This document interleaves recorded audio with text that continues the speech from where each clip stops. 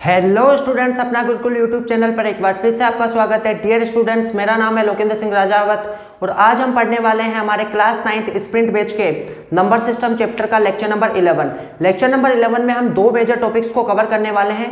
एक तो हम देखने वाले हैं कि किसी भी पॉजिटिव रियल नंबर का जो स्क्वायर रूट है, वो कैसे एग्जिस्ट करता है और उसके बाद में, उससे पहले हम ये देखने वाले हैं कि किसी भी एक रियल नंबर को जो कि बड़ा नंबर है, जैसे इस टाइप का नंबर हो 4.62 है, इसको हम नंबर लाइन पे कैसे रिप्रेजेंट करेंगे?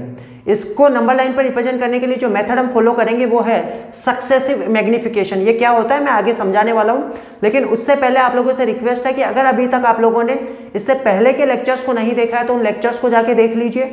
उसके बाद में इस लेक्चर को देखना स्टार्ट कीजिए, जिससे कि आप लोगों के कोई इस लेक्चर को समझने में आसानी होगी।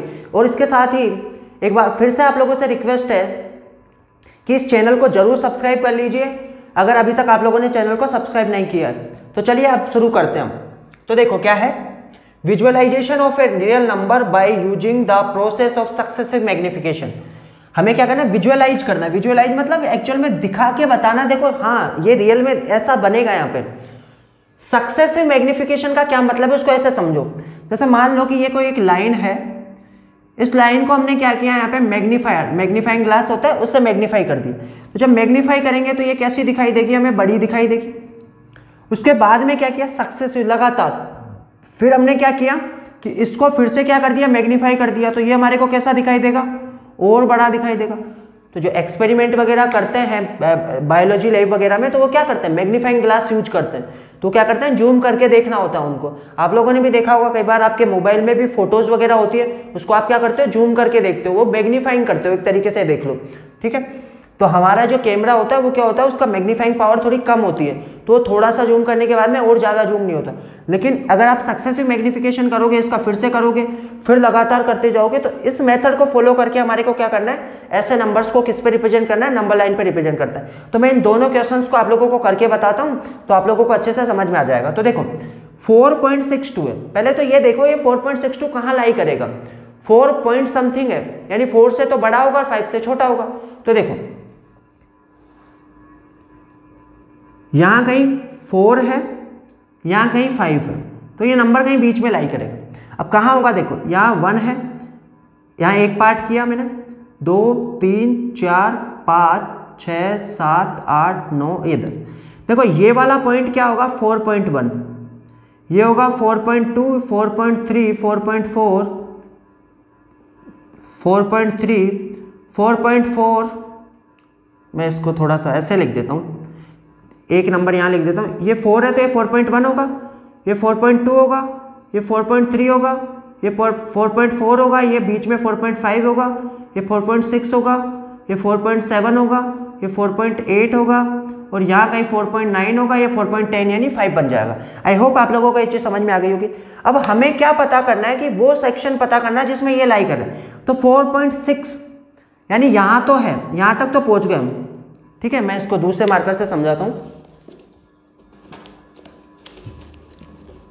तो देखो, हम कहाँ तक पहुँच गए? यहाँ तक पहुँच गए। और 4.7 नहीं हुआ अभी। मतलब इससे तो पहले। मतलब ये जो नंबर है एक्चुअल में कहाँ लाई कर रहा होगा? 4.6 और 4.7 के बीच में। तो अब हमें तो 4.62 रिप्रेजेंट करना है। तो हम क्या करेंगे? इसको मैग्नीफाई कर देंगे। मैग्नीफाई करने का मतलब है, इसको हमने जूम कर दिया। मैग्नीफाइंग करके क्या किया? अब देखो, ये नंबर हमारा ये ऐसा बन गया लाइव यहाँ हमारा 4.6 है। यहाँ कितना है? 4.7 है। अब इसके बीच में फिर से क्या कर दो टेन पार्ट्स कर दो तो क्या होगा यहाँ बनेगा फोर पॉइंट सिक्स वन यहाँ होगा फोर पॉइंट सिक्स टू यहाँ बनेगा फोर पॉइंट सिक्स थ्री यहाँ बनेगा फोर पॉइंट सिक्स फोर यहाँ कहीं बनेगा फोर पॉइंट सिक्स फाइव यहाँ four point six six four point six seven four point six eight four point six nine और four point seven आगे क्या हो जाएगा? सिक्स नाइन के बाद में सेवन। अब हमें कितना रिप्रेजेंट करना है? Four point six two. तो वो कहाँ होगा? वो नंबर होगा हमारा यहाँ। ये नंबर क्या हो गया? Four point six two. I hope आप लोगों को ये चीज़ अच्छे से समझ में आ गई होगी। अगर फर्दर मैग्नीफाइंग करना होता तो जैसे मान लो कि यहाँ पे इस नंबर को हम करके देखेंगे अभी आगे तो कुछ और होता, वन भी होता। तो 4.62 कौन सा है? ये रहा 4.62 और फिर 4.63 इस दोनों को फिर से क्या कर देते हैं मैग्नीफाई कर देते। हैं तो फिर वहाँ जो भी नंबर आता, वो हमारा क्या हो जाता रिप्रेजेंट हो जाता। आई होप ये आप लोगों को अच्छे से समझ में आ गया होगा। एक क्वेश्चन और करके देखते हैं, इसी के साथ फिर हमारा ये वाला टॉपिक फिनिश हो जाएगा, फिर नेक्स्ट वाला टॉपिक करेंगे। क्या बोला है? Visualise the representation of 5.37 bar 7 bar का मतलब क्या है? 5.3777 चलता रहेगा। On the number line up to three decimal places हमें तीन डेसिमल प्लेसेस प्लेसेस तक क्या करना है? रिप्रेजेंट करना है। तो five point three seven seven मतलब यहाँ तक हमारे को क्या करना है? इसको रिप्रेजेंट करना है। भाई सेवन तो बार बार आएगा तो लेकिन हमें दो ही प्लेस और मतलब दो ही सेवन लेने जिससे कि डेसिमल प्लेस कितने होंगे? तीन होंगे। हमें इसको रिप्रेजेंट करना है। तो सबसे पहले फाइव और सिक्स के बीच में आएगा फाइव पॉइंट समथिंग है तो।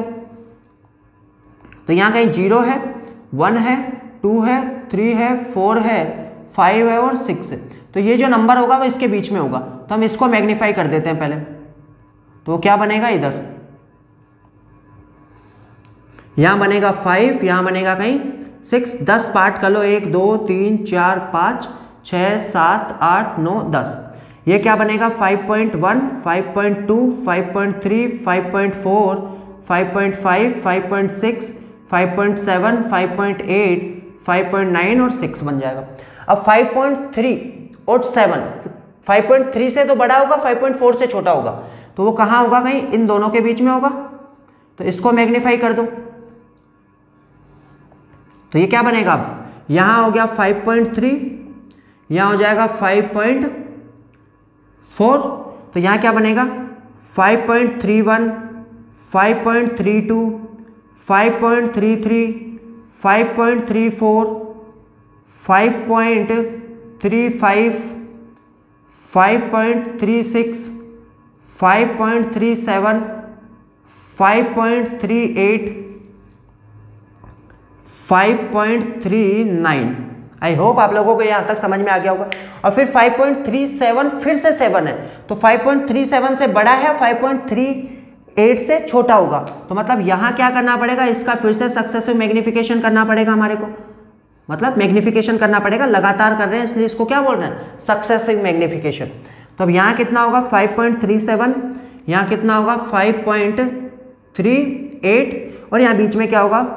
5.371 5.372 5.373 5.374 5.375 5.376 और 5.377 5.378 5.379 और 5.37 ये नाइन के बाद में ज़ीरो बनेगा। मतलब अगला टेन बनेगा टेन बनेगा तो ये क्या हो जाएगा? एट बन जाएगा, यानी 5.38 तो हमें तो कितना रिप्रेजेंट करना था? 5.375 5.377 तो वो कहाँ होगा? वो कहीं यहाँ पे हमारा रिप्रेजेंट हो जाएगा। आई होप आप लोगों को ये चीज़ समझ में आ गई होगी। आगे और करना होता, चार डेसिमल प्लेसेस तक करना होता तो फिर से क्या कर देते इसको? मैग्नीफाई कर देते। ये भी आप लोगों को एक एक्सरसाइज गिवन है। तो आप लोग ये सोल्व करना आई थिंक 1.2 एक्सरसाइज इसी के ऊपर बेस्ड है। तो आप इसको अच्छे से नोट कर लीजिए, समझ करके वीडियो को पोज करके, फिर हम देखते हैं हमारा next topic existence of square root of a real number अब हम देखते हैं हमारा नेक्स्ट टॉपिक वो बहुत इंपॉर्टेंट टॉपिक है। थोड़ा सा टफ टॉपिक है, अजीब सा टॉपिक है, इसलिए ध्यान रखना, थोड़ा सा अच्छे से समझने की कोशिश करना। अगर समझ में नहीं आता तो रिवाइंड करके देखिए, फिर भी समझ में नहीं आता तो आप कमेंट करके बताइए। कोशिश करूँगा मैं कि नेक्स्ट किसी लेक्चर में आप लोगों को ये वापस से एक बार एक्सप्लेन कर दिया जाए। ध्यान से समझना, क्या है? टॉपिक का मीनिंग क्या है? पहले ये समझते हैं। अभी हमने क्या किया था? इससे पहले वाले लेक्चर में हमने root two root three root four मतलब रूट फाइव इनको नंबर लाइन पर रिप्रेजेंट करना सीखा था। इरेशनल नंबर्स थे। अब इरेशनल नंबर्स में क्या हो सकता है? जैसे कि रूट के अंदर कोई पॉइंट में नंबर आ गया। जैसे यहाँ पे 9.2 आ गया, कुछ ऐसा आ गया। तो इस 9.2 को नंबर लाइन पे रिप्रेजेंट करना है। एक तो ये तरीका हमारे को देखना है। दूसरा क्या है? इस मेथड मतलब इस मेथड में हम एक तो ये सीखेंगे कि अगर कोई डेसिमल में नंबर आ जाता है, उसका रूट हो तो उसको कैसे नंबर लाइन पर रिप्रेजेंट करेंगे? साथ में हम ये भी देखेंगे कि कोई एक पॉजिटिव नंबर है तो उस पॉजिटिव नंबर का कोई स्क्वायर रूट निकाला जाए तो क्या वो स्क्वायर रूट रियल में एग्जिस्ट करता है या नहीं करता है? या पता चल रहा है कि रूट के अंदर नेगेटिव बन गया, मान लो। तो जैसे हम लोग, मान लो, ये बोलना चाह रहा है कि जैसे हम एक नंबर है वाई इस वाई का स्क्वायर रूट निकालने बैठ रहे हैं तो ऐसा हो सकता है कि इसका रिज़ल्ट एग्जिस्ट ही नहीं करता हो। एग्जिस्ट नहीं करने का मतलब है कोई ऐसा रिज़ल्ट आ रहा हो जो हमने आज तक पढ़ा ही नहीं हो। तो हम इस टॉपिक में यही देखेंगे कि जितने भी रियल नंबर्स होते हैं ना, सभी रियल नंबर्स का क्या होगा? पॉजिटिव नंबर्स की बात कर रहे हैं। पॉजिटिव रियल नंबर्स का पॉजिटिव स्क्वायर रूट कैसे फाइंड किया जाता है? ठीक है? और वो क्या रियल में एग्जिस्ट करता है या नहीं करता है? हम इसका एक प्रोसीजर है। इस प्रोसीजर को मैं आप लोगों को करके बताता हूँ। नेक्स्ट स्लाइड पे इसको मैं प्रूफ करके भी बताऊँगा मैथमेटिक्स की हेल्प से। अभी हम इसको ज्योमेट्री की हेल्प से समझने की कोशिश करते हैं। तो देखो क्या बोला है? स्टेप्स जो जो मैंने लिखी है, इसको ऐसे कैसे हमें फॉलो करना है? जैसे मान लो कोई नंबर है, हमारे पास 9.2 है। इसको हमने x नाम दे दिया। हमें इसका स्क्वायर रूट एग्जिस्ट करता है नहीं करता है, ये हमें बताना है। तो देखो एल्गोरिथम क्या है इसकी? एल्गोरिथम मतलब होता है पूरा प्रोसीजर क्या है?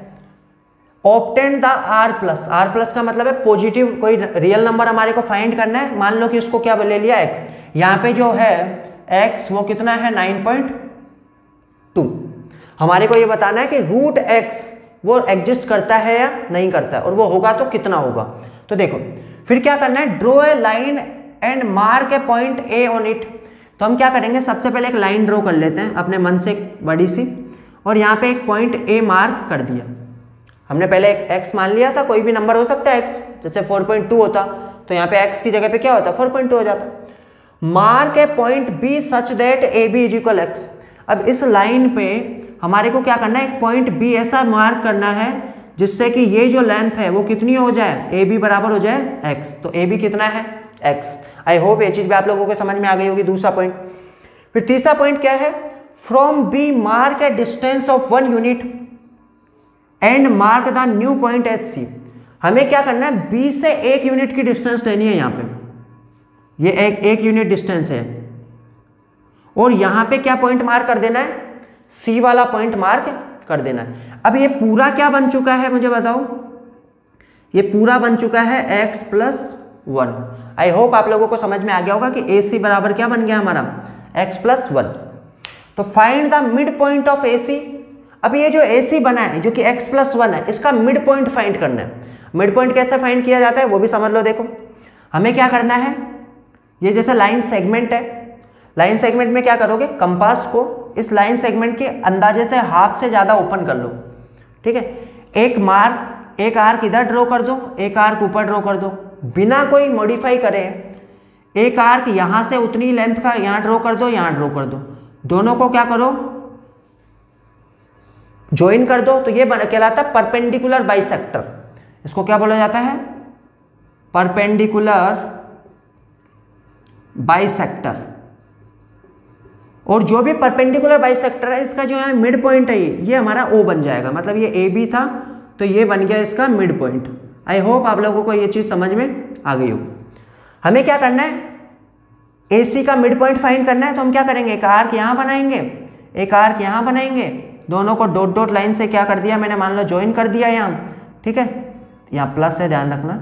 और यहाँ बन गया कौन सा पॉइंट ओ ये मिड पॉइंट है किसका? ए सी का। ध्यान रखना ए बी का नहीं है ए सी का है, जो कि एक्स प्लस वन है टोटल ठीक है? जैसे मान लो ये फाइव पॉइंट टू होता एक्स तो वन एड करते तो कितना बनता? सिक्स पॉइंट टू तो सिक्स पॉइंट टू का मिड पॉइंट कितना आता? थ्री पॉइंट वन तो ये वाला पॉइंट कौन सा है? थ्री पॉइंट वन वाला। आई होप आप लोगों को यहाँ तक बात समझ में आ गई हो। अब क्या करना है? Draw a circle with centre O and radius O C अब हमें क्या करना है? कंपास को लेना है। कंपास में ओ बी ये चीज़ आप लोगों को समझ में आ गई होगी, देखो, जब ये मिड पॉइंट है तो ये भी मैं लिख देता हूँ। जो ओ ए है, वो किसके बराबर होगा? ओ सी के। क्यों? क्योंकि ओ क्या है? मिड पॉइंट है। Mid point of A C A C का मिड पॉइंट था, इसलिए ओ ए और ओ बी ओ सी बराबर होगा तो हमें क्या करना है? ओ बी या ओ सी के बराबर क्या करो? कंपास को ओपन कर लो। यहाँ पे सेंटर मानो और एक क्या बना दो? सर्कल अब सर्कल पूरा मत बनाना सेमी सर्कल बना लो। तो जो भी सर्कल बनाओगे, वो क्या होगा? जैसे कुछ ऐसा बनेगा। वो इससे भी पास होगा, इससे भी पास होगा। क्यों? क्योंकि इतनी लेंथ का बना रहे हैं ना तो सरकमफ्रेंस की जैसे काम कर रहा है और सरकमफ्रेंस का कोई भी पॉइंट होगा, उससे पास होगा। ये हो गया हमारा step number six I hope आप लोगों तक, आप लोगों को ये चीज़ समझ में आ गई होगी। मैं वापस एक्सप्लेन करता हूँ।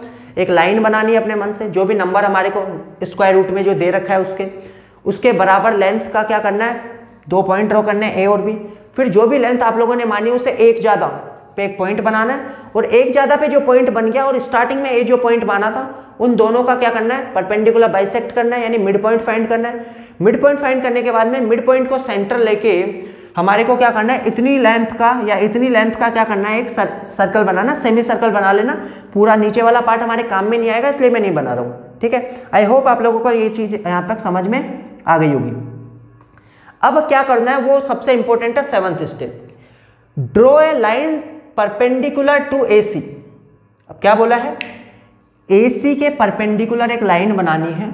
A C perpendicular passing through B कहाँ से पास होनी चाहिए? बीस से पास होनी चाहिए।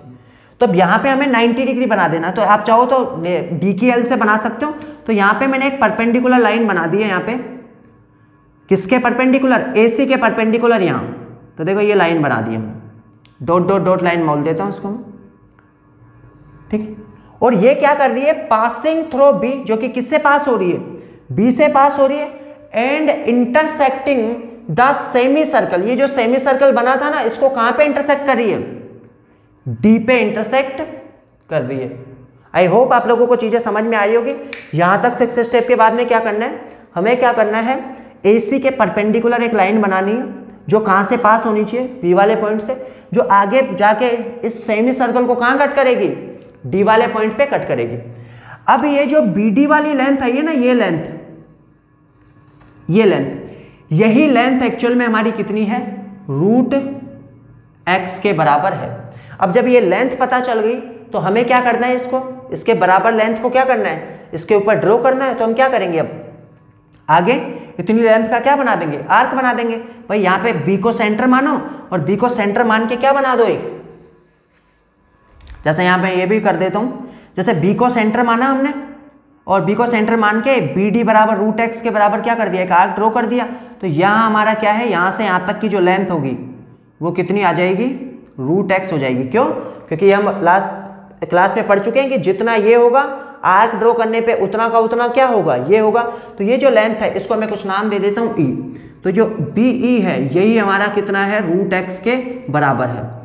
ये तो पढ़ा हमने प्रैक्टिकली करके देखा कि एक एक चीज़, ये स्टेप सारी आप लोगों को याद हो जानी चाहिए। एक क्वेश्चन मैं नेक्स्ट स्लाइड पे कराने वाला हूँ सेम तरीके से। अब हमें ये देखना है कि भाई ये रूट एक्स आया। ये मैंने बोला है डायरेक्ट बोल दिया कि रूट एक्स आया। अब हमें प्रूफ करके भी देखना क्या सच में ही रूट एक्स आएगा या कुछ और आ रहा है। तो हम नेक्स्ट स्लाइड पे क्या करते हैं, इसका प्रूफ देखते हैं और इसके बाद में क्वेश्चन करते हैं। इसी के साथ फिर हमारा ये लेक्चर खत्म हो जाएगा। तो इसे आप अच्छे से समझ समझ के नोट कर लीजिए वीडियो को पोच कर कर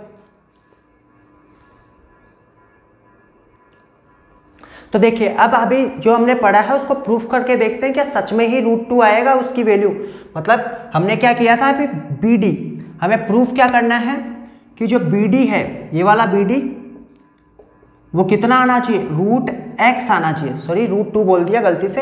रूट एक्स आना चाहिए, ये हमारे को प्रूफ करना है। तो प्रूफ करने के लिए देखो, जो नीचे अभी यहाँ मैंने डायग्राम बनाया था, उसको मैंने यहाँ बना दिया।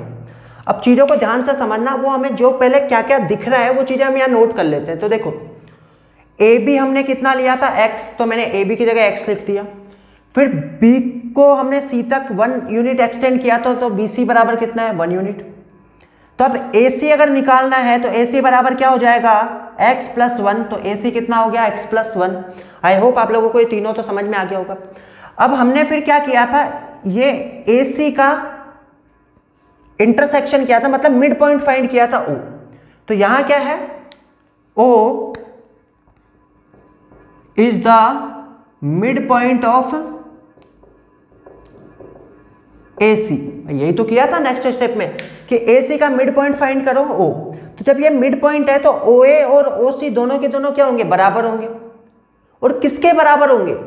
भाई, इस AC का मिड पॉइंट है तो AC का आधा पार्ट ये रहा, आधा पार्ट ये रहा। तो AC बाई टू और AC बाई टू हो जाएँगे कि नहीं हो जाएँगे दोनों? तो OA और ओ सी दोनों बराबर होंगे क्योंकि ओ मिड पॉइंट है और साथ में किसके बराबर होंगे? ए सी के हाफ़ के। तो ए सी बाई टू किसके बराबर होगा? ओ ए और ओ सी के बराबर। आई होप ये बात भी आप लोगों को समझ में आ गई होगी। अब ए सी कितना है? एक्स प्लस वन तो मैंने ऐसी की जगह पे क्या लिख दिया? X plus one divide by two ये हमारे यूज़ होंगे, इसलिए मैंने सब लिख दिया। जो जो चीज़ें मुझे दिख रही थी वो लिख दिया। अब साथ में क्या करना है हमारे को? ओ को किससे ज्वाइन करना है? डी से। ओ को ज्वाइन करना है डी से। अब ध्यान से समझना। हमने क्या किया था? ओ को सेंटर मान के सेमी सर्कल बनाया था तो देखो। ओ, ए, फिर ओ, डी और ओ, सी। ये तीनों के तीनों रेडियस है ना? तो हम बोल सकते हैं ज्वाइन ओ को डी से ज्वाइन किया और हम बोल सकते हैं ये ओ, ए और ओ, सी दोनों के बराबर होगी। रेडियस ही तो है। भाई सेमी सर्कल के ऊपर जो भी पॉइंट होगा, वो उसके सेंटर से इक्वल डिस्टेंस पे होगा। तो यहाँ से देखो, ये सेमी सर्कल है। सेमी सर्कल के सरकमफ्रेंस के ऊपर क्या है? एक ये पॉइंट है तो ये ओ ए ओ डी ओ सी यहाँ कोई होता तो वो भी इसके बराबर होता तो ये तीनों पॉइंट्स बराबर होते। तो यहाँ से ये भी समझ में आ गया कि जो ओ डी है, वो कितना आएगा? ओ सी के बराबर ही होगा। कितना? X plus one divide by two I hope ये चीज़ें आप लोगों को अच्छे से समझ में आ गई होगी। अब हमें तो केवल इससे मतलब है, हमें निकालना है बी डी यहाँ है बी ध्यान रखना। हमें बी डी से मतलब है, ये प्रूफ करना है कि बी डी जो है वो कितना आना चाहिए? ये आना चाहिए। कैसे भी सोल्व करके। तो अब हम क्या कर रहे हैं? तो देखो, मुझे बताना क्या इस ए बी को मैं, अगर ए बी में से इस ओ ए को सब्ट्रैक्ट कर दूँ, ध्यान से सुनना। ए बी में से ओ ए को सब्ट्रैक्ट कर दे तो ये वाला पार्ट बचेगा क्या? मैं वापस यहाँ समझाता हूँ, देखो। ये है ए ये बी यहाँ कहीं ओ है अगर इस पूरे में से मैं इतना पार्ट रिमूव कर दूँ तो क्या ये वाला पार्ट बचेगा क्या? आई होप आप लोग समझ पा रहे होंगे कि ये पूरा पार्ट ए बी है। इसमें से मैंने माइनस कर दिया कितना? ओ ए तो बाकी बचेगा पार्ट कितना है? ओ बी तो ओ बी कैसे निकाला जा सकता है? ए बी माइनस ओ ए करके। आई होप ये बात आप लोगों को समझ में आ गई होगी। अब वैल्यूज़ पुट करना शुरू करते हैं। तो ए बी कितना था? एक्स माइनस ओ ए कितना है? X plus one divide by two अब क्या करेंगे यहाँ पे? एलसीएम ले लो। कितना आएगा? टू आएगा, नीचे वन लगा दोगे तो। वन और टू का एलसीएम टू आ गया, इसको टू को वन से डिवाइड करोगे। टू टाइम होगा टू को एक्स से मल्टीप्लाई किया टू एक्स बीच में माइनस है तो माइनस फिर टू इस टू को टू से डिवाइड करोगे वन टाइम होगा वन को एक्स प्लस वन से मल्टीप्लाई करोगे तो एक्स प्लस वन ब्रेकेट में लिखना है, क्योंकि दो एक साथ हैं। दोनों टर्म्स तो बाकी माइनस से क्या होंगे? मल्टीप्लाई भी होंगे। तो देखो ये क्या बना? Two X minus X plus plus minus minus बन जाएगा। माइनस का one divide by two two X minus X कितना होगा? एक एक्स और माइनस वन यानी इसका रिज़ल्ट क्या है? X minus one divide by two कितना आ गया? ओ बी आई होप ये चीज़ आप लोगों को अच्छे से समझ में आ गई होगी। अब हमें तो ओ बी से कोई मतलब नहीं है, हमारे को ओ डी से भी कोई मतलब नहीं है। हमें मतलब है बी डी से। बी डी निकालना है। तो देखो, अब मैं क्या कर रहा हूँ, एक ट्राइंगल ले रहा हूँ, कौन सा वाला ट्राइंगल पिक कर रहा हूँ? ट्राइंगल ओ डी बी या ओ बी डी ये वाला ट्राइंगल ले रहा हूँ और इस वाले ट्राइंगल में क्या लगा रहा हूँ? पाइथागोरस थ्योरम लगा रहा हूँ। पाइथागोरस थ्योरम भी मैं ऑलरेडी आप लोगों को बता चुका हूँ कि जैसे यहाँ पे बताया था ना कि ये परपेंडिकुलर लाइन ड्रॉ करनी तो यहाँ 90 होगा। तो पाइथागोरस थ्योरम की हेल्प से क्या होगा? 90 के ऑपोजिट साइड यानी O D square remaining two sides यानी ओ बी और बी डी ओ बी इसका square plus B D square दोनों का सम करोगे तो इसके बराबर आएगा। ओडी कितना है? ओडी है हमारे पास ये रहा। देखो सॉरी कहाँ है? ये रहा। वो कितना है? X plus one divide by two का होल स्क्वायर बराबर। ओ बी कितना है? ओ बी भी हम निकाल चुके हैं। कितना है? ओ बी बराबर। X minus one divide by two का whole square plus B D square. हमें बी डी से मतलब है। तो बी डी को एक तरफ़ रखो, इसको इधर ले आओ। तो मैं बी डी स्क्वायर को इस साइड लिख रहा हूँ। राइट भाई ये राइट हैंड साइड में था, इसको लेफ़्ट हैंड साइड में लिख दिया। और लेफ़्ट हैंड साइड वाले को राइट हैंड साइड में लिख दिया, कोई भी फ़र्क नहीं पड़ेगा। क्योंकि राम अगर श्याम के बराबर है तो श्याम राम के बराबर तो होगा ही तो उस तरीके से। ठीक है तो इसको मैं इधर लेके आ रहा हूँ तो माइनस में होगा। ये पहले से था। कितना? X plus one divide by two का होल स्क्वायर माइनस ये इधर आके माइनस का हो जाएगा। तो X minus one divide by two का होल स्क्वायर अब देखो, आप चाहो तो इसका होल स्क्वायर कर दो, इसका होल स्क्वायर कर दो, वो लेंदी हो जाएगा। एक तरीका है कि ये A square minus B square type का बन गया तो इसको कैसे सोल्व कर सकते हैं? कि ये हो जाएगा ए माइनस बी ए की जगह पे X plus one divide by two minus B की जगह पे X minus one divide by two मैं इसको यहाँ लिखता हूँ। यहाँ क्या हो जाएगा? ए माइनस बी और ए प्लस बी बन जाएगा। भाई, ये क्या है? A square minus B square type का बन रहा है। A square minus B square तो इसको क्या लिखा जा सकता है? ए माइनस बी और ए प्लस बी लिखा जा सकता है। तो ए माइनस बी करेंगे तो ए की जगह पे X plus one divide by two minus X minus one divide by two फिर मल्टीप्लाई बीच में, फिर कितना आएगा? प्लस यानी X plus one divide by two plus X minus one divide by two और साथ में बी डी स्क्वायर इधर चल ही रहा है। आई होप आप लोगों को ये चीज़ें समझ में आ रही होगी। ये थोड़ा सा टफ है। इसको ढंग से एक एक चीज़ समझ समझ के नोट करना पड़ेगा आप लोगों को। थोड़ा सा कॉम्प्लेक्स है इसका, मैं प्रूफ बताने की कोशिश कर रहा हूँ आप लोगों को। आप चाहो तो ज़रूरी नहीं है आप लोग प्रूफ देखो। आप केवल जो प्रोसीजर था एल्गोरिथम थी, उसको फॉलो करके क्या कर सकते हो? क्वेश्चन को सोल्व कर सकते हो। अगर कभी प्रूफ आता है तो आप लोगों को पता होना चाहिए, इसलिए मैं समझाने की कोशिश कर रहा हूँ। अब देखो, नीचे एलसीएम टू आएगा दोनों का। तो यहाँ भी टू एलसीएम आएगा, यहाँ भी टू आएगा। तो देखो, पहले इधर वाले को करते हैं टू इस इस टू में, इस टू से डिवाइड करेंगे वन टाइम होगा वन को एक्स प्लस वन से मल्टीप्लाई करेंगे एक्स प्लस वन आएगा। बीच में माइनस है। ध्यान रखना ब्रेकेट लगाना पड़ेगा। फिर इस टू इस टू को इस टू से डिवाइड करेंगे, कितना आएगा? वन टाइम वन को एक्स माइनस वन से मल्टीप्लाई करेंगे एक्स माइनस वन ऐसे कैसे आ गया। फिर अगले वाले पार्ट में भी सेम ऐसा ही आएगा, बस बीच में माइनस की जगह पे क्या आ जाएगा? प्लस आ जाएगा। तो प्लस और अब ब्रेकेट लगाने की ज़रूरत नहीं है, क्योंकि बाहर कितना है? प्लस है। ठीक है? तो अब देखो यहाँ क्या होगा। वन से तो वन कैंसिल हो गया। वन माइनस वन, एक्स और एक्स कितना हो गया? To x. और डिनोमिनेटर में कितना आया? टू। ठीक है? यहाँ क्या आएगा? देखो, ये माइनस का एक्स हो जाएगा और ये माइनस माइनस प्लस का वन हो जाएगा। तो क्या बनेगा देखो? X plus one minus X plus one divide by two. तो ऊपर देखो, एक्स माइनस एक्स कितना हो गया? ज़ीरो। ऊपर वन प्लस वन बना टू और टू बाई टू कितना हो जाएगा? मैं यहाँ कर रहा हूँ। ये क्या बन गया अगले स्टेप में? Two by two multiply two X by two देखो, इससे ये उड़ा, इससे ये उड़ा फाइनल कितना बना? एक्स बना। ठीक? मतलब हमारा अब क्या आ चुका है? बी डी स्क्वायर किसके बराबर आ चुका है? एक्स के बराबर आ चुका है। और अगर बी डी निकालोगे तो स्क्वायर उस साइड जाके क्या बन जाएगा?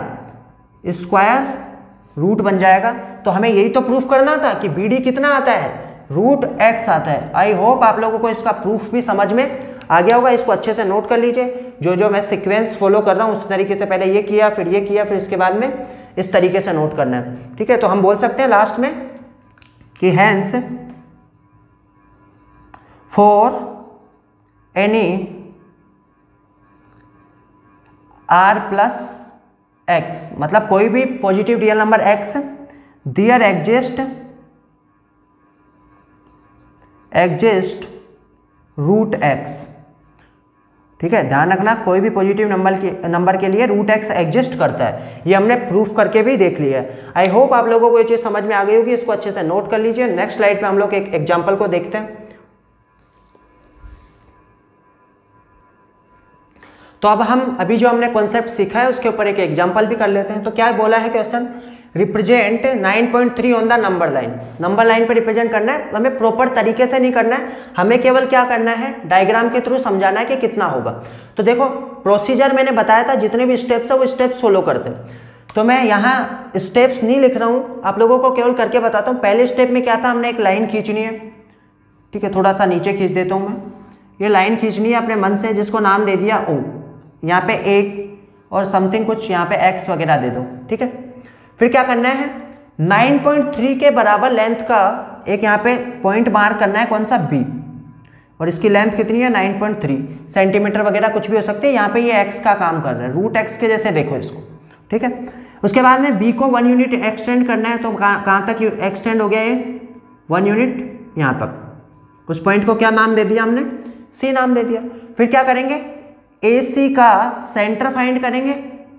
मिड पॉइंट वो कहीं आया, मान लो ओ पर ठीक है, इसको थोड़ा सा और पास कर देता हूँ यहाँ। कहाँ आया? सेंटर ओ आया। फिर क्या करेंगे? ओ ए के बराबर रेडियस लेके ओ को सेंटर मान के क्या बनाएँगे? सेमी सर्कल बनेंगे ये बना दिया हमने, कहीं सेमी सर्कल यहाँ से जाएगा, मान लो। ये किससे भी पास होगा? सी से भी पास होगा और ए से भी पास होगा। ठीक है। फिर क्या बनाएँगे? ए सी के परपेंडिकुलर बी से पास होने वाली एक लाइन ड्रॉ करेंगे, ये देखो। जो यहाँ पे इसको कितने पे कट करके जा रही होगी? डी पॉइंट पे कट करके जा रहा होगा। फिर ये जो बी डी आएगा, यही एक्चुअल में कितना है? 9.3 लेकिन हमें तो इस लाइन पर रिप्रेजेंट करना है इसको। तो इस लाइन पर रिप्रेजेंट कैसे करें? रूट नाइन पॉइंट थ्री बन गया हमारा ये बी डी तो हम क्या करेंगे? बी को सेंटर मानेंगे। और बी को सेंटर मान के बी डी की लेंथ का एक आर्क ड्रॉ कर देंगे कहाँ पे? यहाँ पे जो मान लो कहाँ से कट करके जा रहा है, यहाँ पे। तो ये जो बी ई आएगा, ये किसके बराबर होगा? बी डी के बराबर होगा, क्योंकि आर्क तो क्या होते हैं? ये सेम पार्ट्स में डिवाइड करेगा ना, ये और ये दोनों बराबर होगा। तो जितना बी है, उतना ही बी डी है, और बी डी कितना है? Root nine point three I hope आप लोगों को ये चीज़ समझ में आ गई होगी। आपको स्टेप्स फॉलो करनी पड़ेगी, लिखनी पड़ेगी वहाँ पे कि सबसे पहले क्या किया, उसके बाद में क्या किया। ये सारी चीज़ें मैं ऑलरेडी आप लोगों को लिखवा चुका हूँ। तो जैसा जैसा वहाँ लिखा था, वैसा वैसा क्या करो? एक्स को रिप्लेस करके क्या करना है? केवल नाइन तो करना है, बाकी तो सब वैसा ही चलेगा हमारा। आई होप आप लोगों को ये भी समझ में आ गया होगा, इसको भी अच्छे से नोट कर लीजिए। इसी के साथ आज का लेक्चर हमारा खत्म होता है। नेक्स्ट लेक्चर में हम लोग एक्सपोनेंट्स के बारे में पढ़ने वाले हैं। रियल नंबर्स के एक्सपोनेंट्स को कैसे सोल्व किया जाता है? तो इसके कम से कम तीन या चार लेक्चर्स होने वाले हैं। इसी के साथ फिर हमारा चैप्टर फिनिश हो जाएगा।